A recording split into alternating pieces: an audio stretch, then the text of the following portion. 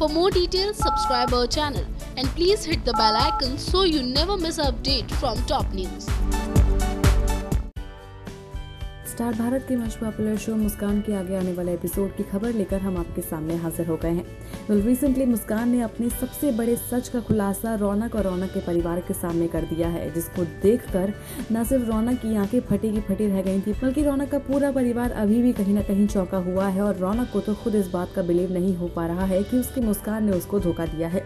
लेकिन अगर बात करें आगे आने वाले एपिसोड की तो बता देते हैं कि मुस्कान यूँ तो नाटक कर रही है, यानी कि जो कुछ भी मुस्कान ने किया, वो उसके नाटक का बहुत बड़ा हिस्सा था। लेकिन आखिर किसने करवाया है मुस्कान से ये नाटक?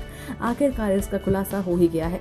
जहाँ आप सभी को बता देते हैं कि बहुत ही जल्दी आप सभी के सामने उस शख्स का असली चेहरा आने वाला है, जिसकी बदौलत और जिसके कहने पर या फिर कहें कि जिसके ब्लैकमेल करने पर मुस्कान ने इतना बड़ा ढोंग रचा। वेल कौन है वो शख्स? इस बात की जानकारी हम आपके सामने बहुत जल्दी लेकर आएँगे। तब तक के लिए बने रहिए हमारे साथ और सब्सक्राइब कीजिए हमारा चैनल टॉप न्यूज़ सच टॉप न्यूज़ से आस्था की report.